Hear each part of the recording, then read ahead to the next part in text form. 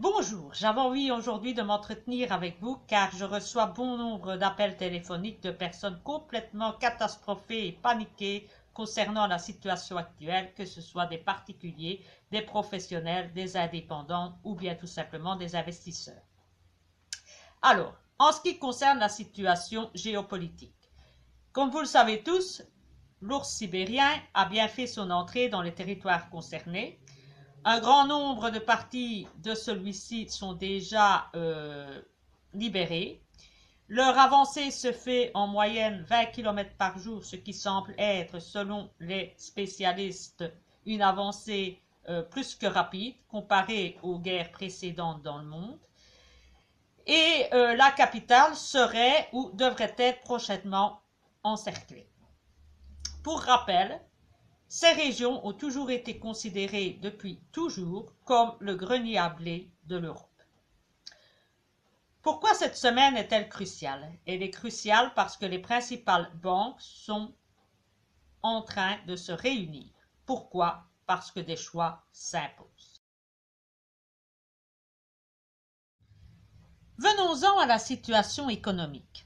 Comme vous l'avez remarqué, c'est un scoop pour personne, les prix ont augmenté, que ce soit en ce qui concerne le mazout, mais également les matières premières, mais aussi les, matières précieuses, l'immobilier qui augmente de 3%, mais également l'alimentation. Aujourd'hui, les directeurs de l'ensemble des hypermarchés de Belgique se réunissaient d'ailleurs à ce sujet. Que va-t-on faire? Eh bien, les banques vont devoir réagir face à l'augmentation des prix et à la croissance économique qui était forte en ce début d'année avec la fin du confinement un peu partout dans le monde. Malheureusement, la Chine et l'Asie se retrouvent de nouveau situation épidémique inquiétante et le confinement est réapparu. Donc, la croissance diminue là-bas et avec la crise, on craint une croissance économique faible, voire nulle pour les prochaines périodes. Ce qui fait que nous nous trouvons avec des prix hauts, une croissance faible ce qu'on appelle la stagflation. Que vont donc faire les banques? Ben, Les banques, elles ont deux possibilités, agir sur l'augmentation des prix, l'inflation, ou soit sur l'économie. Si elles agissent sur l'augmentation des prix, elles doivent obligatoirement augmenter le taux. Et en augmentant leur taux, ben, qu'est-ce qui risque d'arriver? C'est que la croissance économique diminue, ce qu'il ne faudrait quand même pas trop, puisqu'elle est déjà très faible. Il y a donc une marge de manœuvre très étroite pour les banques réagir demain. On pense que la Fed, qui avait prévu de relever ses taux directeurs à 0,50%, le fera de manière plus pondérée et plus modérée en ramenant ce taux à 0,25%. À suivre donc demain. En attendant, deux événements majeurs se sont produits cette journée et vaut qu'on s'y attarde. Quelles sont les deux grandes surprenantes nouvelles de la journée? Eh bien, la première, c'est la décision de la Banque américaine de ne pas attendre la décision de la Fed, mais d'agir de manière unilatérale et d'augmenter le taux d'emprunt d'État à 2,14%. Taux historique que moi, franchement, je ne l'ai jamais vu. Cette augmentation a été immédiatement suivie par la Banque du Brésil, la Banque d'Équateur et toutes les banques d'Amérique centrale et du Sud, et le Canada devrait faire demain, mais toujours avec retard, comme d'habitude, c'est toujours les derniers à la traîne. Deuxième grande nouvelle, et celle pas la moindre, c'est la chute du prix du baril de pétrole qui a chuté de 20% rien qu'aujourd'hui, ce qui le ramène à un prix inférieur à 100 dollars ce qui est une bonne chose. Ça nous ramène à un prix qui était euh, en application avant la crise.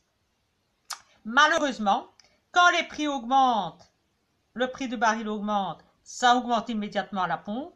Mais quand le prix du baril baisse, ça ne s'ensuit pas immédiatement à la pompe parce que ça dépend de la politique intérieure de chaque pays.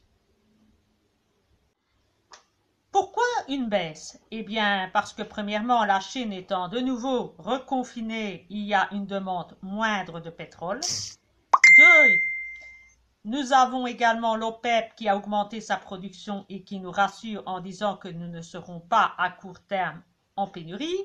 Et troisièmement, nous avons la Russie qui est soumise à embargo sur son pétrole, mais qui malgré ça parvient sporadiquement à encore trouver des acheteurs et à pouvoir inonder le marché avec son pétrole russe.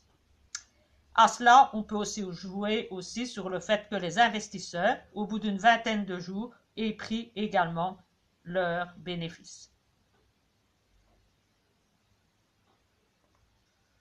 Alors, je terminerai en disant de ne pas paniquer. Pourquoi? Le premier point, c'est parce que des crises, on en a toujours connu. On a déjà connu des crises financières, le subprime, 2002, 2010, les crypto-monnaies. On a déjà connu des crises économiques par le passé, 1980, 1960. On a déjà connu euh, des stagflations en 1970, de l'hyperinflation et nous sommes toujours là, le système a toujours fonctionné. Nous avons connu de nombreuses crises financières, euh, pétrolières, en septembre, la guerre du Golfe, en Syrie, en Libye, au Liban, et on n'a jamais eu de pénurie.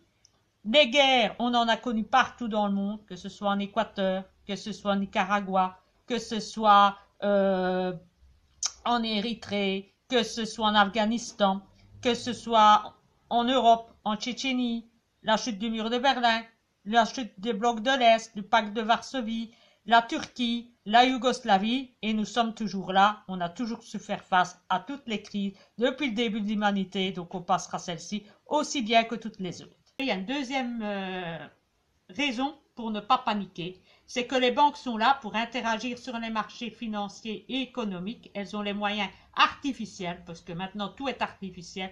On ne laisse plus aller les systèmes de manière naturelle, mais on intervient par de la crypto-monnaie, des planches à billets artificielles. Donc l'effondrement d'un système, normalement, ne devrait plus arriver. Troisièmement, la peur de l'utilisation de l'arme nucléaire d'une troisième guerre mondiale est hors propos. Pourquoi? Parce que l'arme nucléaire a toujours été une arme de dissuasion et pas une arme d'attaque ni de défense. Elle n'a jamais été utilisée qu'une seule fois par le passé et ça a été par les Américains à Hiroshima et Nagasaki et depuis les mentalités ont bien changé. Quatrièmement, certains vous diront aussi qu'il n'y a pas lieu de paniquer parce que c'est la réplique de la crise du Covid, que c'est une façon de vous faire interagir et de vous maintenir dans une politique de panique, de crainte pour mieux vous manipuler. Cinquièmement, la panique n'a jamais servi personne, ni votre famille, ni vous-même, ni un pays, ni un système.